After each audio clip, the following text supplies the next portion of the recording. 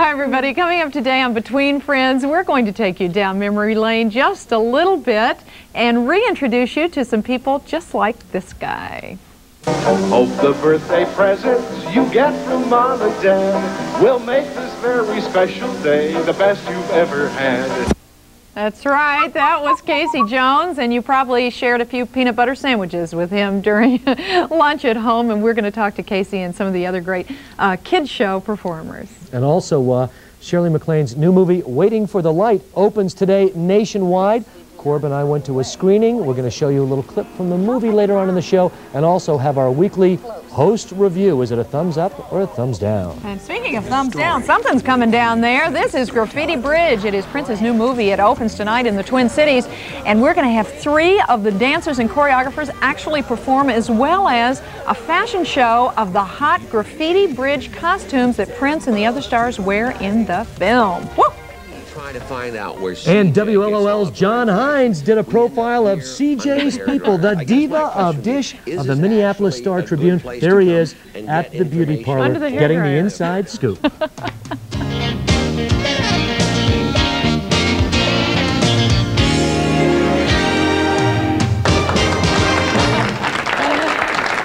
you. Hi, everyone. Hello all of you at home. We're glad that you're joining us. And hi to you. Hi, Corb.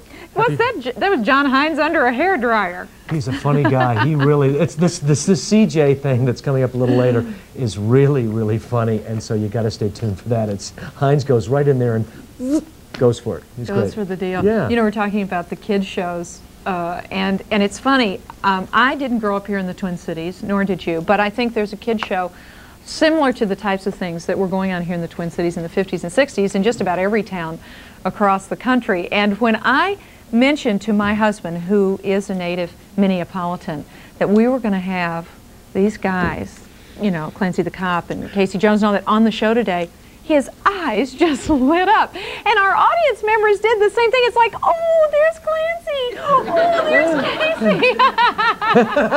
they were. They were loving it. Did you have this kind of thing Well, in the studio's town? been buzzing for the last uh, three or four days when they knew that everyone was coming down. Uh, I grew up outside the uh, metropolitan New York area, and we had Officer Joe, uh, who was a local guy, and also we had a you know Captain Kangaroo. But Officer Joe was great.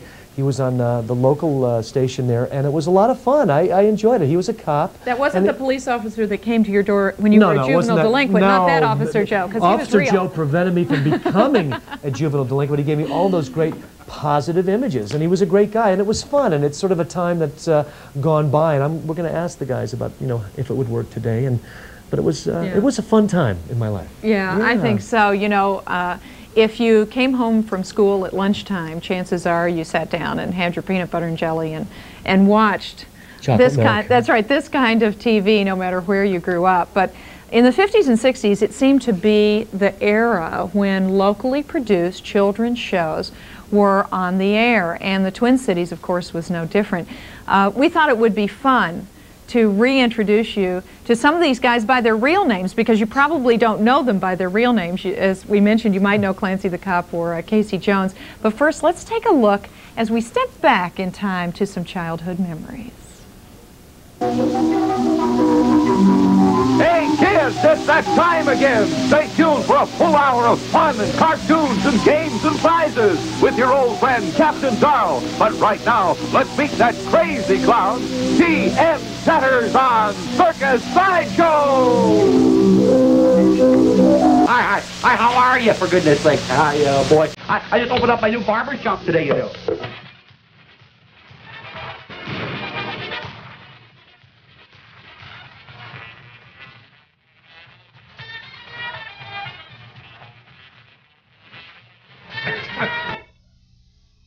Just a little sample. Let's go meet them right now. Hello, gentlemen.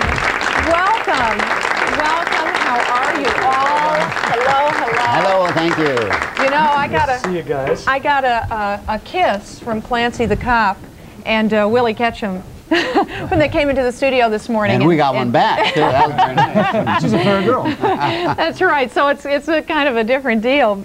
When you all came into the studio, we were talking about the audience having such a tremendous reaction. It I would imagine that that happens to you when you go to the grocery store still and things like that. That people say, oh, I remember that. How about you? Well, that's true. It's uh, still people do come up and say hi, Casey, and, uh, and uh, it does happen. Although we've been off for, for a long time. Now, you all do have real names, and I suppose that I should give them Aliases. just in case you've probably been going under your aliases for a long time. But we'll give your real name. Sitting next to me is Roger Awsumb, and Roger did play Casey Jones, of course. At Lunch with Casey was the longest running show in the Twin Cities Kids Show. 1953 to 72 is a long time That's a long time. To How be long on you the been air. on? How long you been? since April. Seven months. you guys have to speak. well, let's hope really, we make really, it through really close. Sitting next to him is Daryl Laub. And Daryl, now you had a, a difficult job because you had two different shows. You had Skipper Daryl, J.P. Patches, 53 to 55 at WTCN, which Yes, is right, right here. here. And of course, Casey Jones was done right here as well. And then you were Captain Daryl and T.N. Tatters from 55 to 62 at KSTP. So you'd have to make Right. a, a quick change on Well, those. we had to change the names because of a little legality there. I didn't have a clear title to the copyright.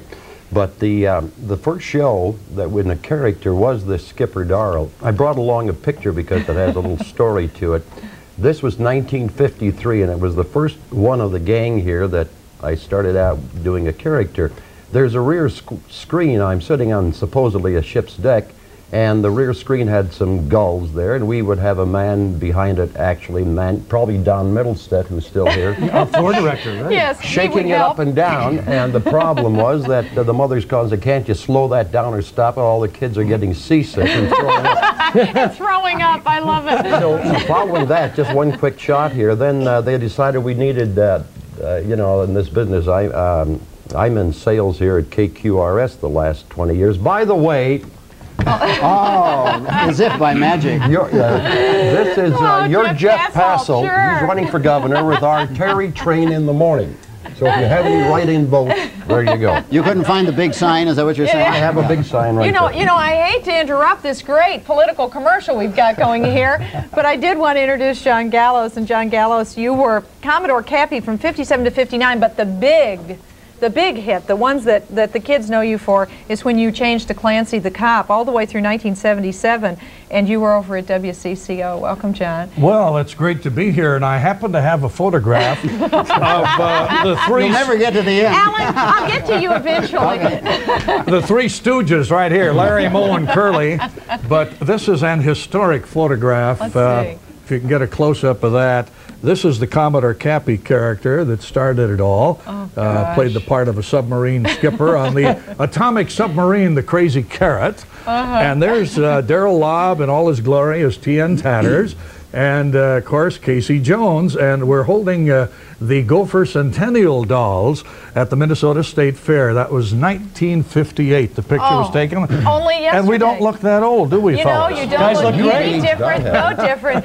And Allan Lotsberg, last but certainly not least, sitting down there on Yes. the end. Hi, Alan. Was Willie Ketchem in 1961? You joined Clancy, and it became Willie. Yes, and, uh, we did Clancy that. and uh, Willie. We did that for uh, John and I were talking about it in the green room. How many years has it been? And I really have no. By the way, everybody's showing something. Here's my business card. There's a shot of it. No, I'm kidding. I'm kidding. But we were uh, we spent We all those Cracker years. Jack crew. They get it. Right. Fast crew. And we couldn't we couldn't uh, come up with exactly the right years because you know kind of senility sets in after a while. So Was it BC or AD? B- BC means before cameras. That's how long it was. It was a long, you know, we, we you got you got studio lights here. We had candles. Remember, light the candles. You know what? That does bring up an interesting point because I was talking to you just a little bit earlier, Roger, and you were talking about, we were laughing about budget and whatever, and you said we had no budget. You had zero. Well, There that's- was no budget. That's right. There wasn't any. Uh, we had zero. We spent no money on this show. My partner, Roundhouse Rodney Lindwire, Right. has passed on now. But we did, and we did. I did three one-hour shows a day for a long time, 16 hours. But everything was live. Everything was ad lib. But a lot of these guys that are still here, we had a lot of fun. And these were the, the beginning days of television. There were no books. There were no courses on television. And it, it was just a really fun time. It was a, a real team. We spent no money. Everything was live. We were live here at Channel 11 from 6 o'clock in the morning till midnight. Every show, you could strike this set in about 30 seconds, right, Don? and we just went bang, bang, bang. Well, you know, you talk about the live things happening. I know that there that that you had to kind of ad lib a lot when things didn't work out well. But I understand that the crew used to pull pranks on you all the time. Somebody told me that they had some strippers show up at your door one day. What? What? No. Uh, yes. Uh, I'm dying to Can, know. yeah, can you elaborate a little on that? well, yes, that's true. There was a hook. Oh, I, she, she told me to say stripper. Right Not Gene? a hook. Not, not hook. Uh, but uh, this gal was a stripper, and to get publicity, she went out to the Minnesota Twins, and uh, uh, very scantily clad, and she got arrested. Well, the guy has played a trick on me. They said the film broke or something, and come on back. And in comes this stripper, uh, and, Rou- and Roundhouse, my partner, was very short, and she was quite tall, and uh, he was a lot of. He liked to dance with tall girls. Hey, wait, they're catching up with us. Just give them a second Yeah, for the that only to sink else, you, in. you Okay, couldn't you're hear with the us. music. Yeah. Mind if I change the subject a little? No, I want to know about. I want to know about this. Did they come? Oh, did they well, actually get? th- th- it was not on the air. It was all a farce. They pretended that it was on the air, and I really died, uh, you know, on, on camera. I Because thought you've it was got these women, these naked women there, and Well, you're no, thinking, they were what's going not- well, just how much? How many clothes did they have? Oh, just Just small, scantily clad. small, small clothes. And, uh, But th- this is a tape that's been around all around the country, and I don't even have a copy. If somebody's got a copy, give me a copy. I love to see it. I bet that you was, would. uh, was. Uh, Corbin, I wanted to tell you about the personal appearances that we all made. Yeah. Hundreds and hundreds of appearances at uh, supermarkets, uh, all the McDonald's and Burger Kings and Perkins restaurants. In those days, uh, they thought they could uh, get the best success by appealing to the children on a kids show, and that would bring in the customers.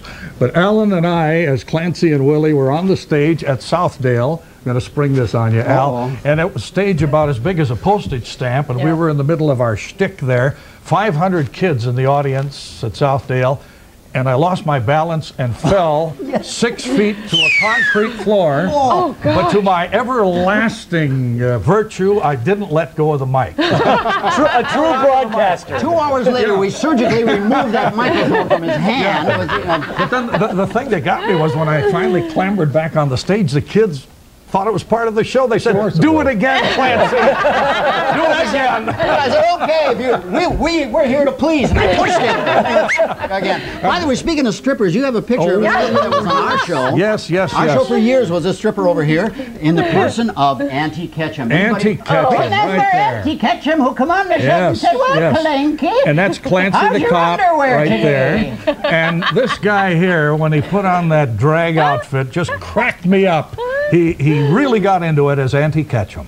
I don't know about all this stripping business. Were you in the wrong? You were on the stomach. wrong spot. That- Honest, it was kid shows. That never happened to me, except that uh, uh, there's another man who used to work here, and I see we're wrapping it up. But let me tell you about a quick change because we went on camera switching between Skipper Daryl and the clown. There was only seven minutes. And when I ran in here, there were many times it was a waist-up shot Yeah. because there was nothing there except the jockey shorts. on, on, on that note, uh, uh, we'll find out more about the uh, the jockey shorts and below the weight, and uh, we're gonna look at some clips. We'll be back with the uh, the Hall of Fame Kid Show host when we return on Between Friends. They're not window glasses, are they? No. Well, all right then, Smarty. What kind of glasses are they? So you give up, huh? I give up. Go on, tell me what kind of glasses. Well, they're eyeglasses. Eyeglasses. Yeah, they're the real cool kind. Cool, right? Yeah, It's the fantastic 8th Annual Autumn Festival at Canterbury Downs, Thursday, Friday, Saturday, and Sunday. See what's new for the 90s. Browse or buy as over 500 artists and craftspeople present one of America's biggest and most beautiful arts and craft shows. Be amazed at their special talents and skills, thrilled by continuous entertainment, relax and enjoy delicious ethnic foods. Gift certificates every hour, discount coupons available at area Super Americas. There's no other show like it. Autumn Festival, Canterbury Downs, Thursday, Friday, Saturday, and Sunday. Don't miss it. Bill's Imported Foods has satisfied people from all over the Twin Cities with the best Middle East foods at the best prices. Fresh domestic and imported feta cheese, the finest you can buy. You'll find a huge selection of imported olive oils, dozens of kinds of imported olives, along with desserts, pastries, and all brands of gyros meats. Ελάτε να μας επισκεφτείτε. Έχουμε τα καλύτερα φαγητά. Reach out to enjoy traditional and new tastes at Bill's Imported Foods, 721 West Lake at Lyndale. Once you shop Bill's Imported Foods, you too will become a frequent shopper. So someone told you you couldn't afford this beautiful living room set or that your credit wasn't good enough to get this gorgeous bedroom set? Wrong. Call Home Furniture Rental. Because at Home Furniture Rental, you can rent or rent to own. Home Furniture Rental has the Twin Cities' largest selection of rental furniture at the lowest prices. No credit? No problem. Home Furniture rental. East Lake Street, Minneapolis, University in Lexington, St. Paul. Willie, what have you and Auntie Ketchem been up to in the lab? Oh, Clarence, we got a big surprise going back there. You know, today's a special day. Especially like a candle, Like Auntie. on that candle, Clancy. Yes. Uh-oh. Look out. Clancy. Oh, Clancy. That was just a lecture from one of the children's shows that you may have watched as a kid here in the Twin Cities. And we are talking with several of the performers from those shows. And uh, it's interesting because you were telling me that at one time you had more adults viewing than you did children. True. Well, a lot of things you have to realize. There was a lot of slapstick and a lot of just very simple humor. But because it was live, things always went wrong. Yeah. And one of the, your voices on Channel 11 right now, Roger Kent, Yes. Was the was the uh, he played he was a he was a fabulous voice. I said fabulous Roger, but he played two live parts. But this man Roger could pull up more double entendres and make the most innocent uh, little skit sound a little bit, how shall I say, adult. And therefore we had a nice adult audience as well until we said, okay, kids, this is for a kid show. Now we talk Cool it. about we talk about the adult things, and we were laughing about this, but um, I understand that you had a birthday wheel, Yes. and and that occasionally that your crew would put kind of naughty names on your birthday wheel. Quite a no. How did that work? I mean, would you did you ever read any of them on the no, air? I would read it right off the monitor. And uh, we, we got it. We used to get a lot of mail, and we'd have maybe 30, 40, 100, 200 names on a Friday, and uh, we just write, write them off there. And occasionally they would, if there were funny names like Eileen Sideways or Bend Over, yeah, that's okay. But, but, uh, but I do have one picture I'd like Yeah, to show you. Uh, maybe some of the folks would uh, remember some of the people also that were right here on Channel 11. That was Sc- Sergeant Scotty and uh, Dave Lee, and then my partner Roundhouse. And I got another shot of Roundhouse here. It might be a little bit of a glare. And uh, we, we had a lot of fun uh, and a lot of shows that we did together. There's Roundhouse, and yeah, I was young at one time. So. I And, uh, love yeah, these. Now this is in the engine of the train, And, which the uh, kids. Which the kids love. You know what? We've got a little clip from the show. Why don't we show that right now? Because this is uh, Lunch with Casey. Sleigh bells ring and I'm listening, but I'm turning and twisting. For I'm itching up here and I'm scratching down there, walking in my winter underwear. the, the amazing part is he still knows He's all the humming words. Do it again. oh, that's great. Now, now, Daryl, we also have a little clip from uh, from your show, and I don't know which. You'll have to tell us which one this was from. Uh, this might be T.N. Tatters. Let's I'm see. sure it is, yes. I'll tell you what, Bertram, uh, I'm gonna just take my uh, razor here and sharpen it up a little bit, you see, because I want to Yeah. nice and sharp, you know, because uh, I don't want to uh, nick it. Oh, boy. Just sharpen that baby up right there. Whoop! Kind of slipped, I guess. Oh well. There. Okay, Bertram. Bertram! Oh no, I hurt my little friend. Bertram, where are you? Did I hurt you, Bertram? Where are you? Bertram, what happened? Did I hurt you? No, you didn't hurt me, but it certainly was a close game. Oh no. Oh no! Well, I understand that one time they, the crew blew your stomach, inflated your stomach, and what Oh, happened? that was a that was a terrible physical reaction. Uh, the idea was to have a stomach ache, and they wore the loose clown pants, Yeah. and so we uh, decided that would be, show the stomach ache coming up. Well, this balloon started to swell inside my clothes, and the pressure was building, and I knew when that thing popped, I was going to feel it in some vital spots. so I sneaked out a pin, and I burst the balloon, and Oh! thank God it was over. Was it a spot for Brioschi or something Yes, you guys exactly, were doing? Exactly. But uh, they would frequently pull tricks on you. All the crew would tr- do everything to try to break you up. Also, you were uh, in a terrible snowstorm. And, and, and it was live, and, and you had to do some quick uh, thinking on the floor. that What did they a do? morning show, and uh, I know I wouldn't get there in time because the makeup took uh, about a half an hour. So I called the director, and I, he said, "What do we do for the live stuff? We didn't have enough film to fill the 30 minutes." I said, "Find the other wig and the hat and my other clothes. Put me on a little bed on the set. Put me in bed, and on the live sets, on the live skits, try to wake me up with explosions, firecrackers, sirens, uh, the whole thing." And in the meantime, I arrived just in time to jump in the bed before the end of the show. A floorman walked by, dropped a quarter on the floor, and I jumped up and said, Who's waking, making all the noise here? So that's how they, They killed the never time. You had to be ingenious. I know. I know, knew John. you You had a lot of celebrities that came by. You were kind of a highbrow Well, kind of show. Well, uh, remember when the Vice President of the United States, Yes. Hubert Humphrey, Yes. uh, came to our show? And remember how he took over, Alan? Yes. Uh, he, he was running he asked for, money too. I remember. That was a can. Yes, yes. I remember we were sitting in the studio, and these two fellas came in with their hands like this, you know, and they were walking in, and, and I thought, oh my goodness, we're going to get mugged here. And what it was was the Secret Service people coming in to case the joint, and they looked around, and then they went like this, and in walked Hubert Humphrey, the Vice President of the United States, took over the show, interviewed us, Yeah. and did a nice job, by the way. Amazing man, and I'll always remember Hubie. Now I watch his son on television, and I say, wow, it's a spitting image. Well, you know, we had 30 or 40 children in the studio with us every day in the grandstand, and they loved to be involved in the commercials. So we try to rehearse the commercial a little bit just to, you know, keep it on the safe side. So I picked this cute little girl, looked like Corbin at the age of eight. And I said, Dear, if Clancy asked you if you like Bosco, remember the chocolate Yes, drink? Oh, yes. it. Yeah, what would you say? And She, she said, Oh, I love it, Clancy. That was the rehearsal, right? Uh-huh. Now we're on the air, and I asked her, How do you like Bosco? And she said, Oh, I love it. But my brother hates it. And- and- It wait a sounds minute, like I, I said, of the stuff that why? Why? And she said, it makes him go to the bathroom. but you know, you recover from these Which is a things, you know. perfect segue to a little story that, that bathroom stories and, and Daryl talking.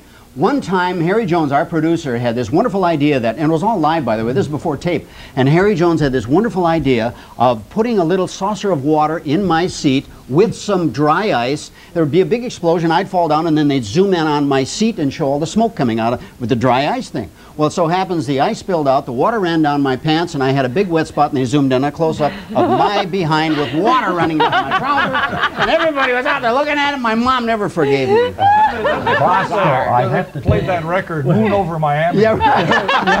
Bo- the Bosco story. Uh, we all had Bosco or the Hershey chocolate syrup, and I don't know how Middlestead or your crew arranged this, but we had a glass that I mixed it in, and I didn't notice as I was mixing it, but as I raised the glass and said, "So have a good Bosco every morning," there was a slight hole in the bottom of the glass, and it was squirting out in a stream from the bottom of the glass, live.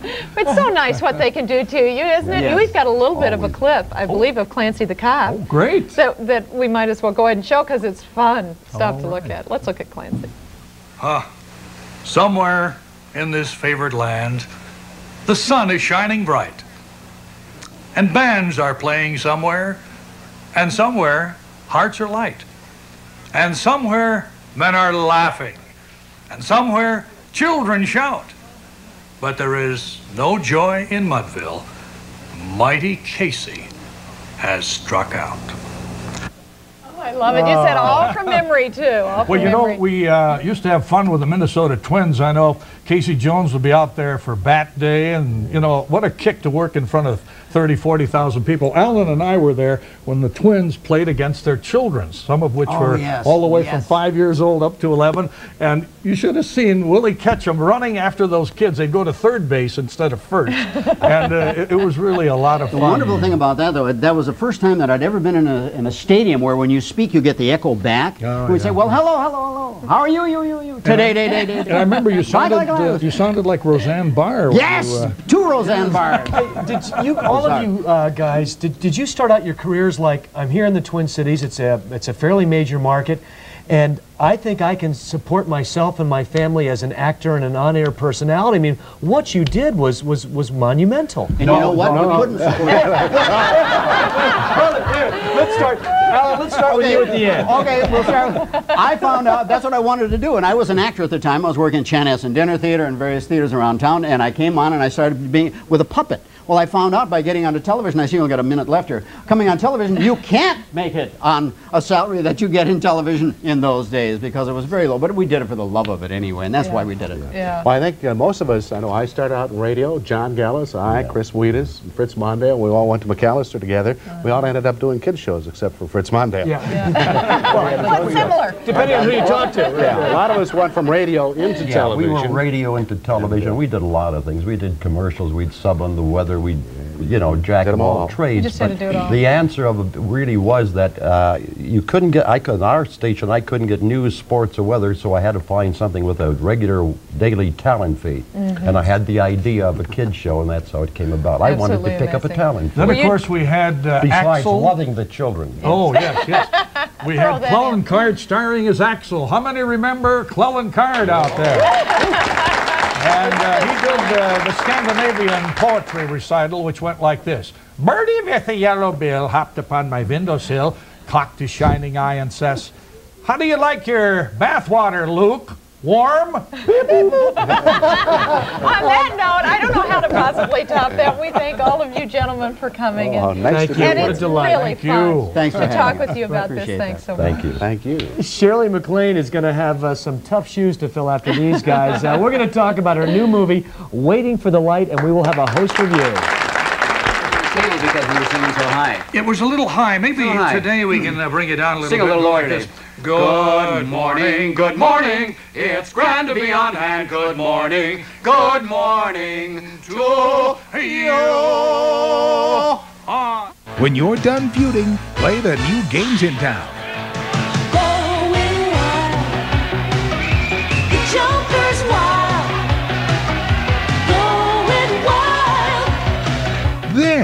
The first game show that keeps pace with your world. Play along with Dick Clark and the all-new Challengers. so stop feuding and start playing. The Joker's Wild at 4 and Challengers at 4.30. Weekday afternoons on KARE 11. Every day, millions of people are hiding the taste of their hot dogs. There's no question some deserve this fate, but not John Morrell. Our hot dogs are really good, and they've earned the Good Housekeeping seal. That's because our great taste comes from the unique blend of fresh, lean meats and seasonings we put into a hot dog. Not what you put on it. John Morrell, the great taste stands alone. New John Morrell, bigger than the Bun Franks, available at these fine stores. Join Scott Hamilton, Brian Orser, Kitty and Peter Carruthers, and an all-star cast of world champions for the most dazzling family entertainment event of the year, Discover Card Stars on Ice. It's a festival of thrills and chills you've got to see to believe. Discover Card Stars on Ice coming to Target Center Saturday, November 17th. One performance only. Great seats on sale now at all Ticketmaster outlets or call 612-989-5151 to charge your tickets today. Brought to you by KARE 11 in association with TBD.